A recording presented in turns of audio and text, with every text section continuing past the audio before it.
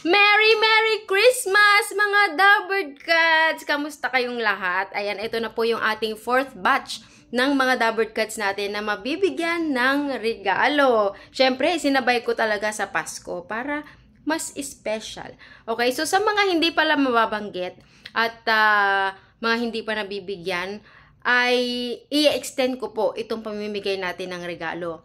Uh, until next week. Okay, so next week is New Year's Day, January 1st. Kaya abangan po ninyo yung ating susunod, fifth batch ng mga mabibigyan ng mga regalo. Okay, so in-extend ko na. Sabi ko noong una, uh, the whole month of December.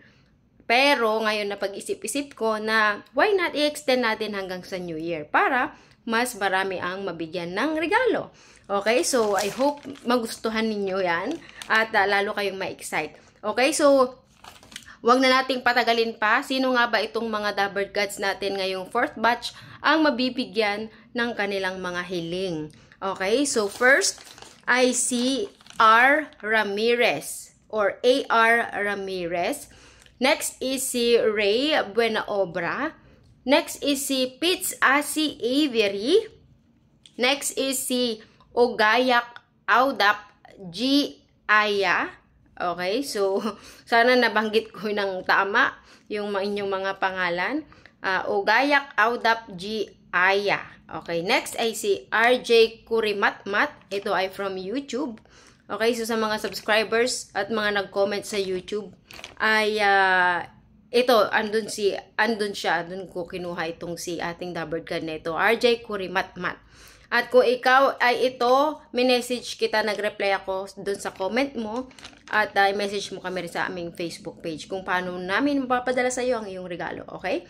Next ay from YouTube ulit, si Bernie Agamo 8837. Ayan. So, kung isa ka sa mga nabanggit, ay i-message mo na kami para ma kung paano ninyo makiklaim, kung paano namin mapapadala sa inyo ang inyong mga regalo. Ayan, ang saya-saya. So, kung napapanood mo ang video na ito uh, sa Facebook, at kung gusto mong makasali sa ating uh, final giveaway next year, next year, parang tagal-tagal, ano, next week na yon ay mag-comment ka. Kung napapanood mo itong video na ito sa Facebook, mag-comment ka sa Facebook kung anong gusto mong matanggap na regalo. At kung napapanood mo ang video na ito sa YouTube, Again, mag-comment ka rin dyan sa baba uh, ng iyong gustong matanggap from Munting Ibunan. Okay?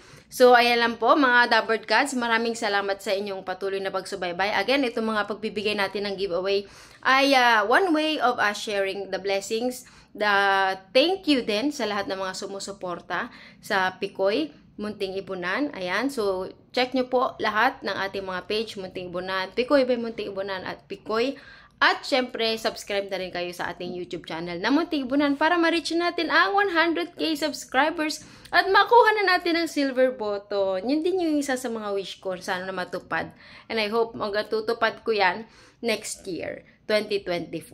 Okay, so maraming salamat. Samahan nyo po kami lagi sa ating mga updates. Check nyo po yung ating mga page. At sa mga pala, yung sa mga hindi pa nakakapanood nung video ko last time kung saan ay uh, binigyan ko kayo ng uh, opportunity um, na magkaroon ng negosyo. Ayan. So, kung gusto niyo magkaroon ng bangus business, ay i-message niyo po kami. Check niyo, ilalagay ko ang link dyan sa baba. At, uh, ayun lang. Thank you so much. Maraming salamat. And congratulations sa lahat ng mga nabanggit ko ng mga Dabber Cuts ngayon. I-message mo na po kami sa aming Facebook page kaagad-agad. Okay? Merry Christmas again sa inyong lahat. And God bless you all. I'll see you again next week para sa ating finale kung ng mga mabibigyan ng mga regalo. Okay? I love you all. Merry Christmas. And uh, bye!